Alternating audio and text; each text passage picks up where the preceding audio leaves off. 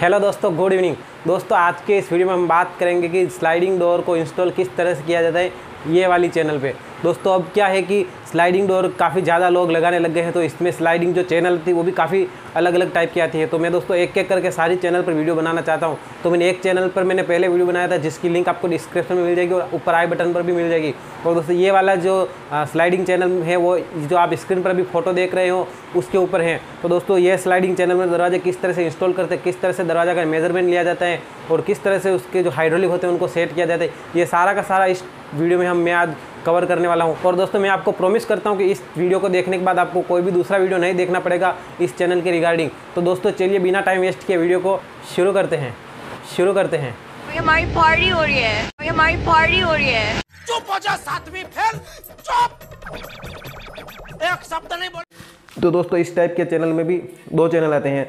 एक ये जो चौड़ी आती हैं वो ऊपर की साइड लगती हैं और ये जो चौड़ा भाग है वो पीछे की साइड रहता है। ये किस तरह से फिट होगा मैं आपको आगे आपको दिखाऊँगा। तो एक इस टाइप की होती हैं और एक होती हैं इस टाइप की, जो कि ये नीचे की साइड लगेगी। पतली चैनल नीचे की साइड लगेगी। और इसमें जो व्हील आते हैं, वो कुछ इस तरह के आते हैं। तो दोस्तों, इसमें जो व्हील आता है, वो इस टाइप का व्हील आता है। ये व्हील है, वो इस तरह से इसके अंदर चलता है। इस तरह से। तो इसमें जो ये सेटिंग आता है, उसमें ये जो एक स्क्रू दिया हुआ है ये स्क्रू इसकी हाइट को ऊपर नीचे करने के लिए होता है और ये जो ठेसी है, ये हमको जब दरवाजे को अंदर बिठाना होता है तो सबसे पहले क्या करना है कि इसको ऐसे दबा के, इसको हमको ऐसे लॉक कर देना है। इसके बाद दरवाजे को घीसी में बिठा के, ये ऊपर की साइड वाला लॉक करना है, नीचे की साइड वाला नहीं करना है। दरवाजे को घीसी में बिठा के इसको इसे ऐसे करेंगे तो ये अनलॉक हो जाएगा और ऊपर निकल जाएगा। ऊपर निकल के ये इस घीसी के अंदर इस तरह से बैठ जाएगा। तो हमारा दरवाज़ा है, वो इंस्टॉल हो जाएगा। तो दोस्तों, पूरी पूरी तरह से इसको मैं आपको समझाऊँगा कि ये किस तरह से इसको इस इस वाली चैनल से दरवाज़ा बिठाया जाता है। और इसमें आई हैं ये चार हाइड्रोलिक जो कि एक दरवाजे में दो लगेंगे, यानी कि दोनों साइड से काम करेगा। रेगुलर आपने देखा होगा कि सिर्फ़ दो ही हाइड्रोलिक आते हैं। जब हम दरवाजे को क्लोज करते हैं तो सॉफ्टली क्लोज हो जाता है। लेकिन दोस्तों, इसमें चार हाइड्रोलिक दिए हैं तो ये दोनों साइड लगेंगे। यानी कि दरवाजे खोल के जब एक साइड हम धक्का देते हैं तो उस साइड जाके वो एकदम से टकराएगा नहीं और वो स्मूथली क्लोज हो जाएगा। तो दोस्तों, ये हाइड्रोलिक भी किस तरह से लगाए जाएँगे, मैं आपको पूरा समझा दूँगा इस वीडियो में। तो दोस्तों, और इसके साथ आते हैं, इस टाइप के कुछ लोग आते हैं। तो ये लोग कहाँ पर काम लगते हैं? ये जब हमको डेढ़ की बॉर्डर होती है साइड में, यानी कि साइड में हमारा पार्टियाँ होता है, इसके लिए ये लोग हमको ज़रूरत नहीं होता है, वरना ये लोग जो है, वह इस तरह से लगाए जाते हैं। यानी कि अगर हमारा साइड में कोई भी सपोर्ट नहीं होता है, इस टाइप पर अगर कहीं पर हमको इंस्टॉल करना है तो ये लोग इस तरह से लगता है। तो ये जो दरवाज़ा है वो ये चैनल से बाहर नहीं निकलता है। तो दोस्तों, यही प्रक्रिया है पूरी। चलिए मैं आपको समझाता हूँ कि किस तरह से ये पूरा काम करता है। तो दोस्तों, हमको ये चारों हाइड्रोलिक इसके अंदर घुसा ही देना है। क्योंकि अगर आप बाद में घुसाओगे तो आपको फिर से इस चैनल को खोलना पड़ेगा।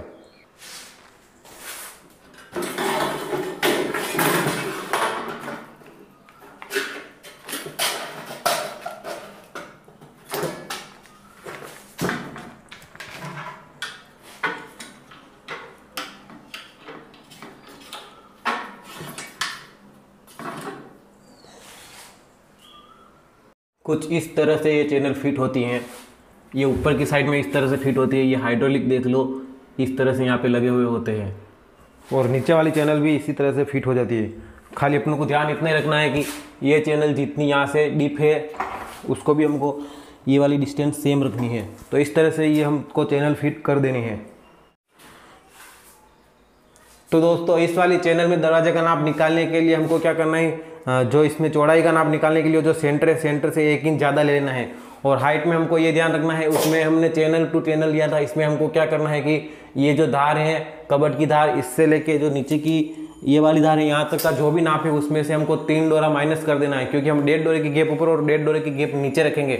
तो इस तरह से हमको इसका नाप ले लेना है। अगर आपको थोड़ी सी अगर कम गेप रखनी है तो आप छः में भी कर सकते हो। लेकिन अगर विनियर या ऐसा कुछ लगने वाला है तो उसके हिसाब से आप ये गेप रखना। दोस्तों, दरवाजे कटिंग होने के बाद हमको व्हील का ये खांचा मार देना है। और दोस्तों, इसमें हमको नीचे की साइड कोई घीसी मारने की ज़रूरत नहीं होती है।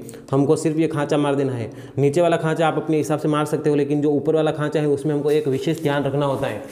इसमें हमको हाइड्रो ऊपर ऊपर हमको हाइड्रोलिक लगता है। इसके लिए हमको क्या करना है कि ये जो इस तरह से ये व्हील लगेगा तो यहाँ की ये जो यहाँ से यहाँ तक जो नाप है वो हमको तीन इंच पाँच सॉरी तीन इंच पाँच डोरा या फिर पौने चार इंच का रखना है।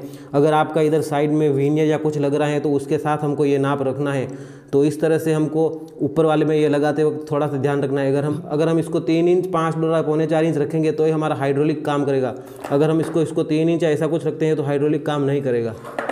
अगर आपके चैनल में थोड़ा बहुत डिफरेंट है, हाइड्रोलिक अगर कोई अलग आए तो आपको इसको किस तरह से नाप लेना है वो भी मैं आपको बता देता हूँ। ये जो व्हील है वो आपको इसके अंदर इस तरह से रखना है और फिर ये कबट की धार से यहाँ का इसका नाप ले लेना है। तो इस तरह से आप नाप ले सकते हो। इस तरह से हमको ये डिस्टेंस रखना है तो हमको जो ये हाइड्रोलिक है वो प्रॉपर काम करेगा। और दोस्तों, दरवाजे को ऊपर नीचे करने के लिए ये जो स्क्रू हैं, आपको इसको टाइट या लूज करना रहता है। आप अगर इसको टाइट करोगे तो ये जो दरवाज़ा है, वो ऊपर की साइड जाएगा। और अगर आप इसको ल्यूज करोगे तो दरवाज़ा थोड़ा नीचे की साइड आएगा। ये नीचे की जो गेप होती है, उसको सही करने के लिए होती है। आपको दरवाज़ा ऊपर नीचे करना होता है, तब इस स्क्रू का यूज़ होता है। ये ऊपर वाला भाग है। ऊपर वाले में ये फिट हो जाने के बाद इंस्टॉल करने से पहले आपको इसको इस तरह से लॉक कर देना है। ये लॉक करोगे, उसके बाद ही दरवाज़ा अंदर जाएगा। तो इस तरह से लॉक करने के बाद आपको दरवाज़ा अंदर बिठाना है। अब अंदर कैसे बिठाना है, वो भी मैं आपको दिखा देता हूँ। तो दोस्तों, अभी मैंने नीचे से किसी में बिठाया है तो सबसे पहले आपको इस तरह से नीचे में इसको किसी के अंदर बिठा देना है और उसके बाद ऊपर का आपको इसके जो एक घिसी है, इसके बराबर उस व्हील को इस तरह से ले जाके वो जो ठेसी है, उसको अनलॉक कर देनी है। तो दोस्तों, इसको मैंने अनलॉक कर दिया है, इस ठेसी को मैंने इधर किया तो ये अनलॉक हो गया है। और इसी तरह से मैं इस वाली ठेसी को भी अनलॉक कर दूँगा।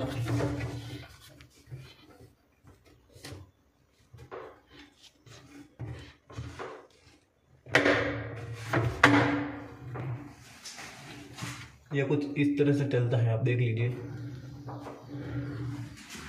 तो जैसे कि आप देख सकते हो कि जो पहला मेरा दरवाज़ा है, वो इंस्टॉल हो गया है, लेकिन अभी इसमें एक सेटिंग करना बाकी है। इसका जो हाइड्रोलिक है, उसको हमें अभी सही करना है। तो हाइड्रोलिक को वापस आपको सेटिंग करने के लिए क्या करना है कि ये जो ठेसी है, इसको आपको खींच के इधर लॉक कर देनी है।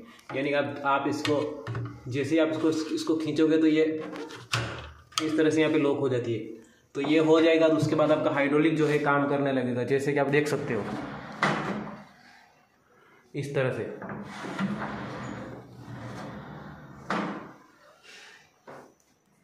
तो दोस्तों, इस तरह से मैं दूसरा दरवाज़ा भी इंस्टॉल कर देता हूँ।